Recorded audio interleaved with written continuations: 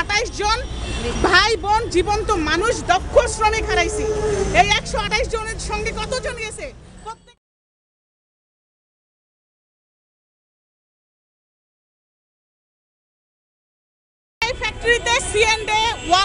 ইত্যাদি বায়ার পাইছি।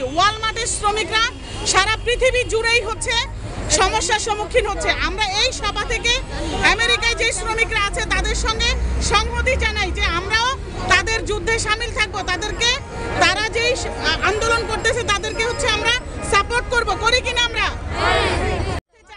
আমরা কারখানার মধ্যে মানে দুইটা সিঁড়ি চাই যে একটা সিঁড়ি বাইরে দিয়ে থাকবে। এক আর দ্বিতীয় হচ্ছে আমরা বলতে চাচ্ছি যে শুনেন ফ্যাক্টরিতে শুধু সিঁড়ি থাকলে শ্রমিকরা বের হয়ে যায় তা না। শ্রমিকদেরকে আমরা এক লাখ টাকা ক্ষতিপূরণ দিয়ে দিব। এক লাখ টাকা ক্ষতিপূরণ।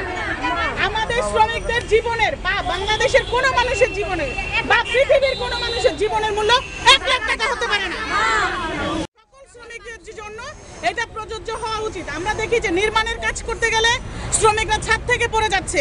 এটা কেন? তার নিরাপত্তা দেওয়া হয় না। সেই শ্রমিককে কেউ খোঁজেও না যে আসলে সেই শ্রমিক পাঁচ হাজার টাকা পাইছে কিনা। তাহলে এটা এই যে কারখানায় আপনারা কাজ করেন আপনারা নিজেরা একটু সচেতন। দয়া করে যে যখন আগুন লাগবে আমার সঙ্গে আমার ভাই বোনটাও বাঁচতে হবে যে আমার সঙ্গে কাজ করে।